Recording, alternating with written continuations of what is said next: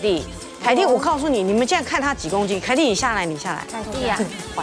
可爱。凯蒂这样下来，四十五公斤，四十五公斤，四十吧，四十。四十。他今天就是啊，像老师讲的那种，就这样背心裙，对对，就是就是新美阿姨，就是以前呢穿人穿在里面那种。对呀，对对不对？我们就穿在里面，然后衬衬托出呃这一点点裙摆。对对对对然后他现在对把里面的穿到外面来。对，其实今年还蛮流行这样穿的。我们先从从它里面，它的宽度你看穿，真的这这我转后面，它前面 Q 前面皱褶，旁边皱褶，后面还在皱褶，他整件裤子我们怎么能穿？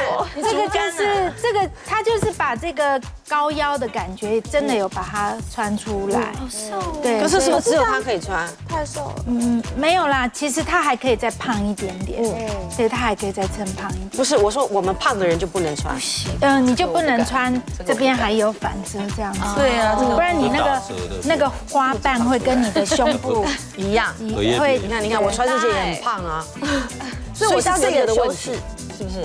我觉得我们就不可以这样穿，对不对？对对对，如果它里面只穿一个很简单的 skinny 牛仔裤，我觉得 OK。哦，因为它里面那个裤子太复杂了，对所以有一点抢到外面这件罩衫的风采有点像。孕妇。对，所以所以以后你要穿这一件的时候，你就穿里面就三角裤就好了，就是啦，平顺的，平顺一点不要 Q 就可以这样就不要。有时候穿一些短裤也短裤，短裤，对，但是它是胶啊咖哎，它就是白露丝那种。对，就是胶啊咖，然后有一点若隐若现的，还蛮好看的。所以我就我们肉肉女生就不能这样搭哈。呃，肉肉女生不要那么复杂。来，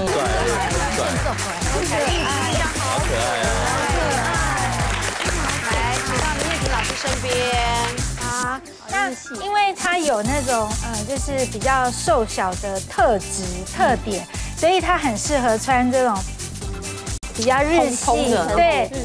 那种森林系女孩的造型，那我觉得可能她的妆感啊，她的那个长相就是非常的清新，所以我就刚好就帮她搭配这样子，就是比较森林系女孩的那种背心裙，因为那个新梅说这种东西她都很害怕，很害怕，对啊。长得就是无辜脸，可是才能驾驭的。你对，所以对。但是穿这样就觉得好想看她我们哦。穿这样就被人家说怀孕，对 对啊，但是其实日本想要带她去吃饱，吃饱就觉得她随时随时都想联系他对，对对对。对，其实像呃现在日系里面这种风格是永远不会退流行的，走这种文青的风格。其实它很多都是那种堆叠层次的穿搭。那我们一层一层把它扒掉来看。好，第一个就是说。穿这样子配件也很重要，所以我就会帮他搭这种，呃，这种今年很流行，到秋冬就很流行那种盖耳帽。那因为他就是一个很无辜啊，好那我们也风格都没有在听我们讲话。所以我就觉得说，哎，他刚好这个呃那个表情啊，还有发型就很适合戴这样的盖耳帽。然后再来呢，嗯、嗯、我觉得他今天穿这样很适合穿这一件，有点也是骑士风外套。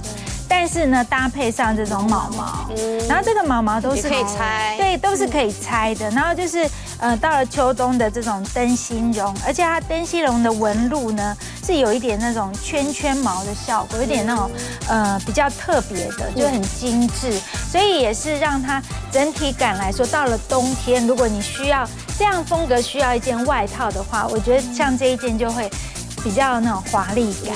那再来就是好。可爱。对，再来就是穿这种森林系风格，一定要有一个三角巾。这是捉巾吗？没有，对，其实是蛮像捉巾的，就是一定要有一个三角巾。那这三角巾就是让你披披挂挂，对，也就是是，层层它堆叠在一起，对对对，少一层都不行哎。少一层就单调了，对。然后再来呢越单薄，对，但它这一件就是一件那个呃背心裙背心裙，就是那个常常常常在日杂里面也会看到。那我是把里面是一件洋装，嗯，然后搭配背心裙，然后它就会等于有衬衫跟内搭裙都有露出来，所以它这样可以穿到春天。它可以一层一层扒掉，对，没错。那我我觉得它就可以搭一些比较个 mini Tonga 的鞋子呢，也是属于里面有毛毛的，真的。对，就是非常非常的就是温暖系的女孩。